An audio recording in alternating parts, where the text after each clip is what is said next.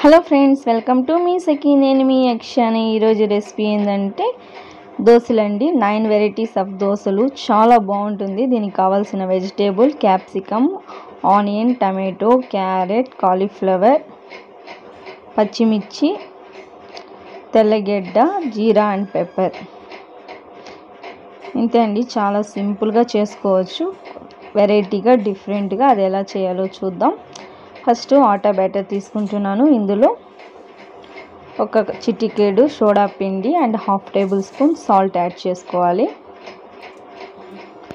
మనం రెగ్యులర్గా దోశ పిండి ఎట్లా చేస్తామో అట్లే. ఎక్కువ థిక్గా ఉండకూడదు లైట్గా ఉండకూడదు మీడియంగా ఉంటే మనకి వెజిటేబుల్స్ వేయడం వల్ల దోశ అనేది టేస్ట్గా వస్తుంది అండ్ బాగుంటుంది. ఇంతే అండి. మనకు కావాల్సిన ఇంగ్రీడియంట్స్ అన్నీ ఇట్లా చిన్న చిన్నదిగా కట్ చేసి పెట్టుకోవాలి. ఇందులో నేను ఎక్స్ట్రా వచ్చి మసాలా కరివేపాకు పప్పుల పొడి కానీ యాడ్ చేసి పెట్టుండాను. సో అవన్నీ ఎలా చేయాలో చూద్దాం.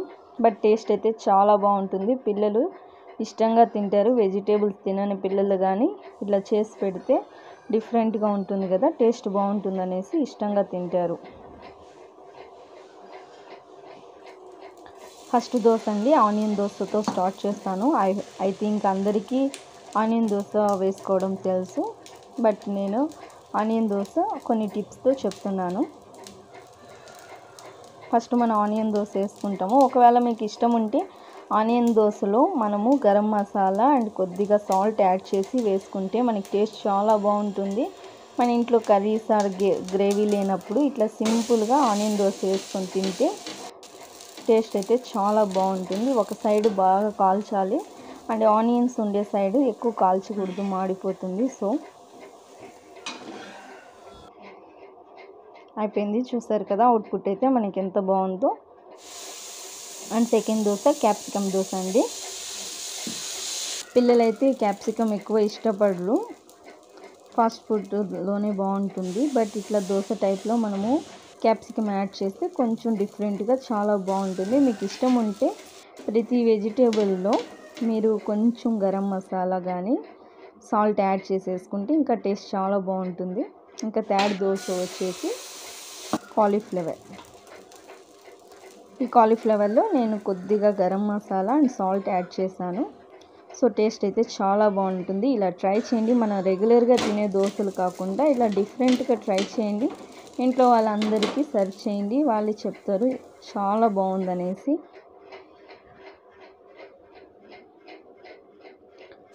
And fourth dosa. Carrot dosa అండి. క్యారెట్ వచ్చి కొంతమంది ఇష్టపడరు. సో ఇలాగ చేసి తినిపియండి. పిల్లలైతే చాలా ఇష్టంగా తింటారు. అందు మనం పెద్దవాళ్ళం కానీ ఇలా తినచ్చు.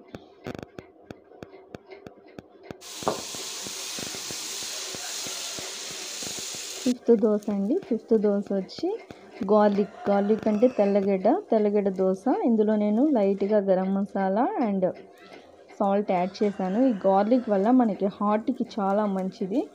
సో గార్లిక్ దోశ ఇట్లా ట్రై చేయండి. సూపర్ ఉంటుంది టేస్ట్. ఆ ఫ్లేవర్ అయితే చాలా బాగుంటుంది. పిల్లలు చాలా ఇష్టంగా తింటారు. మనం రెగ్యులర్గా వంటల్లో వేస్తాం కదా ఇట్లా దోశ టైప్లో కానీ చేసి చూడండి.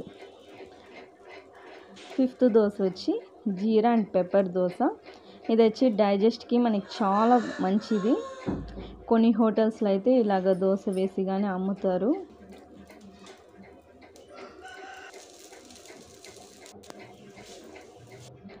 ఈ దోశ వల్ల మనకి చాలా మేలే జరుగుతుంది బికాస్ దీంట్లో జీరా పెప్పర్ ఉంటుంది కదా సో జీరా వల్ల మనకి డైజెస్ట్ బాగుంటుంది. అండ్ సిక్స్త్ దోశ వచ్చి పప్పుల పొడి అండి. ఈ పప్పుల పొడి రెగ్యులర్గా మన ఇంట్లో ఉంటుంది కదా. సో ఈ పప్పుల పొడి దోశ చిన్నప్పుడైతే మేము ఎక్కువ ఈ పప్పుల పొడి దోశనే తింటాము. టమాటో దోశ. టమాటో దోశ రెగ్యులర్గా మనము బయట బండ్లు మీద తింటాం కదా. కార్న్ దోశ అట్లాగా. అందులో యాడ్ చేస్తారు. బట్ అందులో వెజిటేబుల్స్ అన్నీ యాడ్ చేస్తారు. మనం వచ్చి ఓన్లీ టమాటానే యాడ్ చేసి దోశలాగా వేసుకుంటాము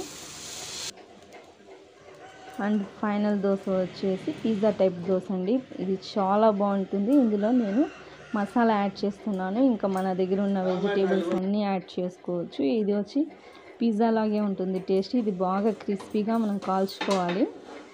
ఇప్పుడున్న లాక్డౌన్లో మనం బయట నుంచి ఆర్డర్ చేసుకొని కుదరదు కదా. సో ఇట్లాగే ఈ పిజ్జా దోశ చేసుకొని తినండి. చాలా బాగుంటుంది. టేస్ట్ అయితే.